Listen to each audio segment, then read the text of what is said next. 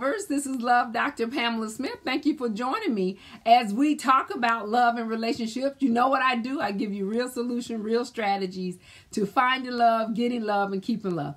Now, make sure you go ahead, um, share this with others who may need help in their relationship. Make sure you like and subscribe to my YouTube. Make sure you give me those hearts. I love it. Thank you for joining me, lovers as we talk about another great subject. So tonight's subject is do you still think of your ex if you in a relationship with someone else? So this is a topic right now because we are in a position of where we are just with self, right? And because of that, you may be uh, thinking of a person you like to be with, but stuck with someone else.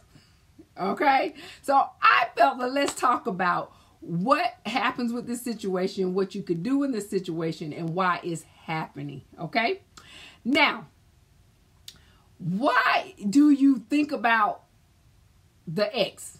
What what's happening that you're thinking about the ex? So here's what's going on. You're more than likely unhappy with the relationship that you're in. Um, you miss what you had with that past relationship. It could be uh, the love you received. It could be the way you were treated. It could be that the person uh, cooked and the one you with now does not. Um, you could have just rushed into a relationship uh, with the new person and then give yourself time to breathe and think about taking the time to go into another relationship. So, you could have made a poor decision and ended the previous relationship too soon and went into another relationship. And then most most of all, you may have a disconnect with your present relationship. You know, you're you're not fulfilled emotionally, nor you feel mentally or fulfilled uh, physically. And so because of that, you think about your past ex.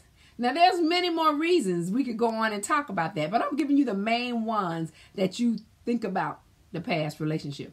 So now, so what do, what do you do? What what what could you do? Well, you could decide to with this new person learn how to get to know them so that you can fulfill how you want to be within the new relationship. Um, you could try your best to get to know the person so that you can be happy within that relationship. You could possibly see and focus do I have chemistry with this new relationship? You know, uh, uh is there actually sexual excitement within this new relationship? Uh, you know, do they give you peace? Those are things you could do and sit and think about. Well, is this the relationship I really, really want? And that right now is a good time to do that. Because eh, here here is the the whole gist in this and then I'm going to give you the solution to it. See, we enter again is I, I talk about this all the time. We enter in relationships because why? Because we're attracted to what we see, right? And then what happened is we keep going into the relationship thinking that things are going to change or get better. But if you've never let go of a, of, of a person in your past and you hold on to what they did to you or how they treated you or how they make you feel, you bring that to that new relationship. That's why I always talk about you have to give yourself time to breathe and be that single person, be in a single relationship, be um, in love with self so that you can give yourself space and time to see what you truly, really like. I mean, if this is a person you really, really want to be with. So here's the solution, people. It is okay to think about past relationships, but you've got to put those past memories behind.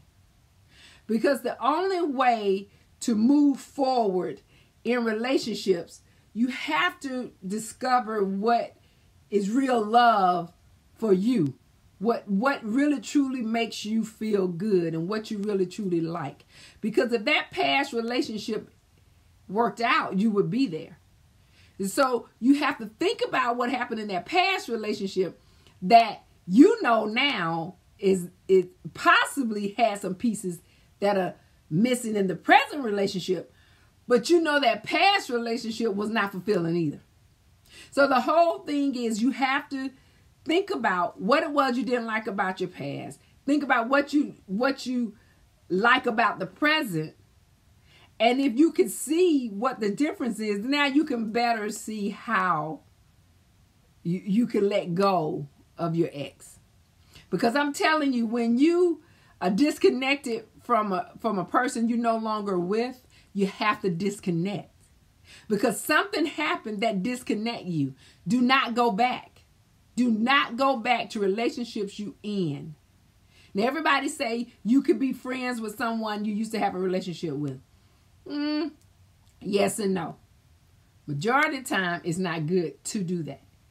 You could be friends to a certain extent if you have children. But if you're a single individual and you didn't have children together, it's best to move on. Because all you're doing is carrying past to the present. And when you bring past to the present, it's difficult to move forward to the future. Okay? So I, I hope that the information that you get that you just received helped you because you want to have new love so that you can discover what makes you happy you know what makes you feel good and what what you want to connect to. Because it's nothing like bringing a whole self into a new relationships. And and if you've experienced it you know what i'm talking about. When you don't have things around you that are going on it is so wonderful to focus on that person at one time. And when you're focusing on one person at that one time you have a better relationship. And you can see better as to what makes you happy. And that's what and, and in that in that case you what? Stop wasting time. Okay, so I hope that helped you out. Thank you for joining me. Remember, if you are single, true love is only delayed.